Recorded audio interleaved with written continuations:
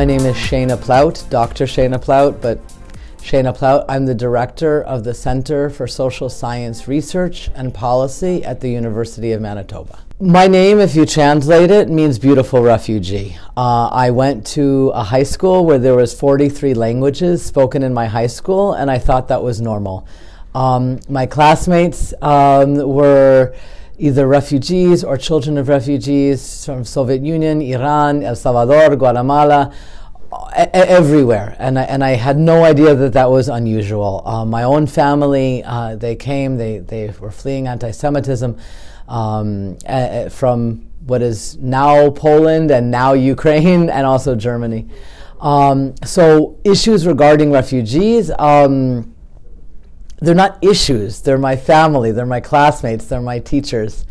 Um, but uh, at the same time, in, in, in my own academic work, uh, I work uh, looking at how people represent themselves in their own advocacy and in their own uh, way of trying to make change. And one of the things about this event that I wanted to be able to do through the Center for Social Science Research and Policy is bring people together who have lived experience, who are lawyers, who are economists, uh, who are within government, bring people together in order to say, okay, over the past 10 years here in Manitoba, we have had three very significant different waves of, of refugees and other people seeking safety. What has worked in the way that Manitoba has responded? What has not worked? And what are some lessons we can take forward? And it was important to me that when we talk about Manitoba, we're not just talking about government, but we're talking about the diaspora community. We're talking about private business. We're talking about the airport. We're talking about the provincial government. We're talking about the federal government. We're talking about media. So, really recognizing Manitoba in all of what makes up Manitoba and seeing, okay, the way Manitoba has responded to Syrians and Yazidis, the way Manitoba has responded to Afghans, and the way Manitoba has responded to Ukrainians are very, very different. How can we use this to go forward? The government is responsible to the people, and the people also must hold the government responsible when you're only relying on one, um, you are abdicating responsibility from the other. So governments respond to the pressure of people. And um, I, I, I, think that we do need volunteers and we do need civil society to help shape government policy um, and to hold the government to account at the same time, the government needs to be able to provide the resources where this can be done in a good way. So I don't think it's an either or situation. It has to be a both and situation because you don't want government just creating policies either, right? You're not going to be having some sort of uniform cookie cutter situation. When you do, that's when you have a situation where you can only bring your immediate nuclear family here to Canada, right? Because there's a particular Canadian understanding of what family is, which doesn't work for most of the rest of the world. But you also don't want to be relying only on volunteers because then it, it, it enables the government to escape its responsibility um, to be providing a safe place for people to live a life of dignity. I want to see people like Shakila running organizations. I want to see people who have lived experience shaping policy, not just implementing policy. I also want to see that there is people like Dr. Jesse Hajer, who is an economist, be able to provide that lens when we're discussing what economic policy should look like in terms of, of, of refugees. Uh, I also want to see people within, like Dr. Shauna Labman, be able to hold that legal perspective. And I want to see people like Nick Krawetz who shape communications in not just Winnipeg, but in all of Manitoba, be able to frame some of those narratives. That's what I want to see. Last summer, Ukrainians were getting off the plane. They were walking around downtown Toronto in plus 30, knocking on people's doors saying, Can I get a bottle of water? Can I get a place to stay with air conditioning? They were exhausted. This has not happened here in Manitoba, and I'm very proud and fortunate for that response because they get temporary accommodations here. They get three meals a day for up to 30 days. So there's over officially uh, 12,000 Ukrainians have come to Manitoba. Uh, various places they've actually are residing. The majority of them are in Winnipeg. Uh, but however, there are Ukrainians going to various communities Winkler, Steinbach, Brandon, Dauphin, for example. Uh, also, we are seeing currently about 50 people on average every day at the airport, and these numbers do fluctuate with, uh, let's say, the summertime when the airfare was more expensive, or around the Christmas holidays where they went sort of down a bit. But uh, last fall, the numbers just spiked. Uh, very large numbers were coming. In the month of September, there was about 2,000 people alone came there. Um, so again, the numbers do fluctuate, but now they're starting to go up again after the Christmas holidays. We are advocating for supports that refugees do get should be extended and uh, expanded to Ukrainian newcomers because they, when they do come here, they do not necessarily get the same supports, and they're certainly not getting permanent protection. So that's a very key difference. Uh, however, we are certainly advocating for that to happen, to get those kinds of supports on a more permanent basis, because this program, the visa program, is uh, potentially going to expire at the end of March next month, March 31st. And we're certainly hoping that this program will be extended because the war is not showing any signs of stopping, and the numbers and the demand for the program are continuing to grow. Um, so again, we certainly hope that typical supports that refugees get are extended and continue to be maintained for Ukrainian newcomers. I would say that people are coming here from a range of circumstances. There are people that have come with resources, but many have come with very limited or no resources. So the, the needs and demands are different. Uh, however, there are some commonalities in terms of finding longer term housing after the temporary accommodations program sort of ends for them, uh, finding a job, finding daycare, finding schools for their children, and so forth. And that's very difficult to do if your English level is at a minimum or you don't speak any English at all. So, how do you find a good paying job that will help you pay for rent, for example? Or, uh, you know, how do you enter the workforce if you have two or three kids that you have to look after and you can't have daycare? And we're, we're seeing those challenges on, on a lot of people uh, particularly mothers with children who are in these circumstances. And because they're a one income sort of household, for example, and they're dealing with multiple things, and but still trying to you know keep the roof over the head. Um, so the one-time financial assistance that they receive from the federal government is certainly appreciated. However, it is one time, mm-hmm. and it runs out very quickly. It's only three thousand dollars per adult. So you factor in a monthly rent, some grocery bills, or a phone bill month month and a half goes by, those funds are gone. Um, so it's very stressful for a lot of people uh, in terms of their anxiety of whether this program will be continued, and hopefully it will be continued. But uh, the supports, when the when the reality sets in, like we discussed, after you know the five six month mark, what happens when the funds are depleting, or if if you're working in sort of a lower paid job and you can't afford rent. Uh, I think those are some concerns and challenges facing a lot of people right now. We do know that more than 12,000 have officially come to Manitoba. Uh, and that's either directly or indirectly. So we, we are also aware of circumstances when people have first arrived in, let's say, Toronto, Montreal, Vancouver. They're there for a few weeks or a month they realized that the the cost of living, for example, is much higher in Toronto or compared to Winnipeg. So we've seen people that are there and they've actually come to Manitoba and then sort of transition and settle here more, you know, on a longer term basis than they were previously. So the numbers are sort of not totally accurate in that sense of how many are actually here at the moment and how many have left and so forth and how many are coming from other provinces. Um, so the best indicator right now is the issuance of Manitoba health numbers. And we know that number has officially crossed 12,000 people. Before people make a decision to apply under this program, they have to seriously do their research and not just come on a whim, you know, uproot their lives or thinking about it's going to be very easy here to settle because it's not. Typical immigrant that comes to this country takes about 18 to 24 months to settle.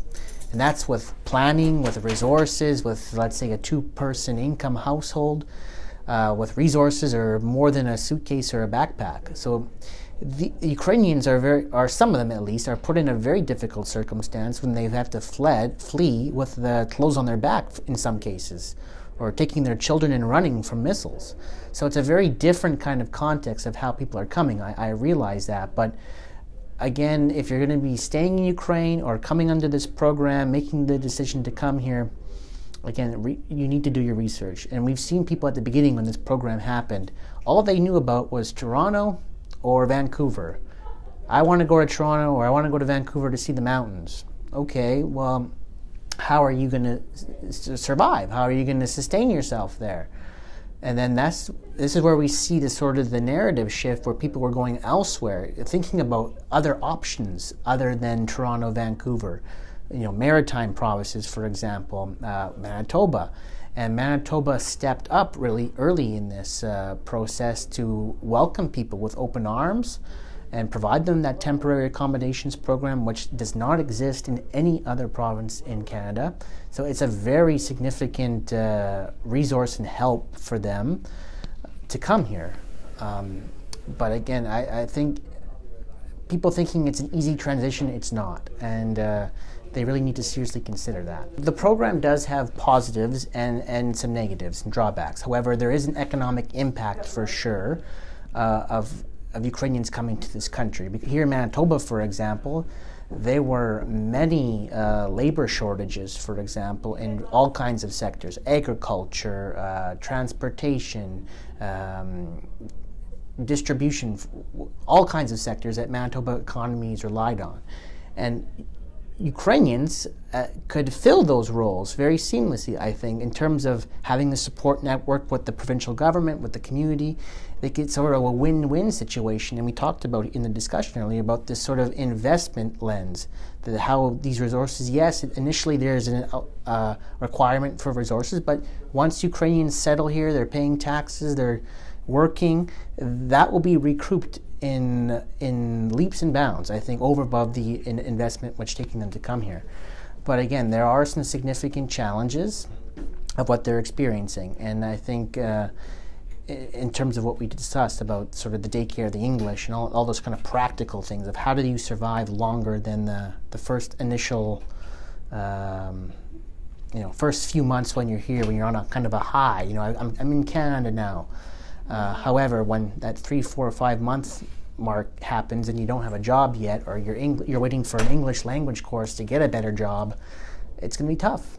And uh, that's why it's so important that the capacity and resources are increased so that they can transition more quickly and start getting that investment back. Listening to Nick talk about the immense support that the Ukrainian diaspora is able to contribute here also makes me really conscious of all the refugee groups who arrive I don't think there's a singular group in Canada at all that has such a strength of diaspora support here. And so what the government needs to do better is equal the playing field. Mm. I'm Shauna Labman. I'm the executive director of Global College at the University of Winnipeg, and I'm a legal academic who studies refugee resettlement and refugee law. I think we've learned how to do better supports, both from a government side and a settlement side. Uh, more volunteers, more Canadians come into supporting. Uh, but the work to recreate your life in a new place is always going to be hard. One of the things that's great about Canada is that we have long-term history of private sponsorship. So since the 1970s, Canadians have been sponsoring refugees from all over the world to Canada, and that means Canadians know refugees, know of the stories of their flight, and know of their settlement struggles when they arrive. And that makes Canadians, for the most part, pretty strong advocates for refugees. And governments are responsive to that. They they hear that Canadians care and that's really important. I'm a Winnipegger from birth. I grew up here. I was away for a long time. I worked for the United Nations in India. And one of the reasons I returned to Manitoba for my work is cuz Manitoba in particular has always been a particular place of strength and support uh, for refugee welcome. And that's partially due to, for a long period of time, we've seen refugees as part of our population building strategy. And it's a place where our downtown is small and people share space and know each other, and that's really wonderful. Some of the refugee comes from very, um, uh, you know, um, they experience very uh, traumatic life. So um, here at the beginning it might be all rosy and beautiful, but like five months down the road, mm-hmm. the reality hit. Yes, so there then there will be lots of challenges. For me, that all of my work experience has been with the newcomer, especially refugee um, communities. I think this event um, will help that uh, public or people in the sector find about the you know like resources that exist. Um, if you know like um, people from academy, uh, academia uh, participate in this event so they, they hear the front line you know like um, struggle or services that is available so if if they see the point to you know like conduct a research or write a paper or whatever so that um, um, it create a pathway to you know like um, educate other people that are not in the sectors um, about the program and services that exist um, exist for the refugees, and um, I'm hoping that it can have a positive impact on policymaker, on people, uh, on people from the you know like government level that they see the struggles or the success and the challenges, and maybe they can, um, you know, like review the policies. Some of the policies are very outdated, so they can review and you know like um, create an updated version of policy for certain programs um, that uh, exist in the in, in Winnipeg or Manitoba. I've been refugee. I was born when there was war in my country, so I I spent all of my childhood, teenager life uh, being refugees, and um, and I know how difficult it is to be a refugee. To you know like not um, grow your your root in in one country is like. Um, and the discrimination that you face um, and lack of uh, opportunities just because you're a refugee. Um, so the hardship that I went through um, during my uh, you know like teenager time or you know like early youth, I don't want the other people that come to to feel that hardship. I I help them or I'm in this sector to make it easier for those people, for the for the new generation. So at least, obviously, I cannot you know like solve all the all the problem and make it all rosy and stuff like that. But at least um, you know like make it easier for them to in, um, to uh, grow or, or integrate in the new society. When I came to Canada, there was only two organizations, Immigrant Center and um, uh, Immigration Interfaith Manitoba which uh, for sure they call it welcome place. Um, so they were uh, welcome place were provided uh, were providing uh, services for the government refugee and immigrant center for people that come as immigrant. The only thing that will exist there was some English conversation classes and cooking classes at the immigrant center and and then English classes for adult. So there was no um, after school program for the youth at, the, at schools or you know like uh, or other program that currently exist right now for, for the refugees. If I compare the services, the current services with the time that I came to Canada uh, or to Winnipeg, I should say, yes, there are way, way more services.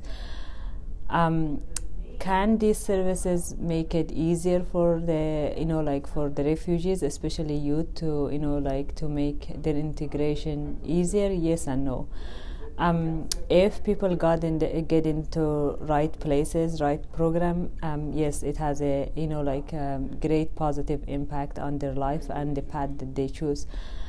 But these services usually concentrated in some area of the city but not uh, all over the cities. Yes like um, maybe for example school division one or downtown has like uh, there is a saturate, uh, saturated um, amount of services exist for the newcomer and refugee but if you live um, for example in transcona the services are limited you, you know like uh, mm-hmm. there is it exists but it does it's not as much and then for the refugee family that live in a you know like in in further area for the youth to participate in this program um, sometimes it's challenging yes because they have to come to the program to, to get the bus ticket to be able to com- communicate uh, commute between home and and um, and uh, and the program place. Sometimes it's not possible especially you know like in in, in winnipeg um, most of the year is winter and the weather get dark very like at four o'clock. So some families are worried um, about their safety because they don't speak the language and stuff like that so there is uh, there is more services in comparison to the time that I came but it still is not distributed equally in all over the city. Some area has a saturated part of the program or services, and some area is only one or two program exists. Mm-hmm. Everything that you see in a society, it's a policy, it's a political act. So. Um, most of the you know like um, MPs or MLA, they promise the programs and stuff like that, but they cannot carry or they they don't try very hard to carry those programs. So they have um, according to the policy or whatever they have. So they increase the number of refugee, but the, you know, like the number of services or pro- proper services did not increase. So um, I think one of the reason could be lack of advocacy um, and informing the MPs or or politician, um, because you know, like if politician wants vote, yes, like in October of 2023 there is a voting season. So now if you go to if if immigrant and refugee advocate for any program right now because they want the vote their vote so they probably you know like um, agree to um, to run that program. Um, and also it has to be a united voice across you know like if i do it individually it won't be as impactful as you know like 50 of us mm-hmm. uh, um, talk about the same concern.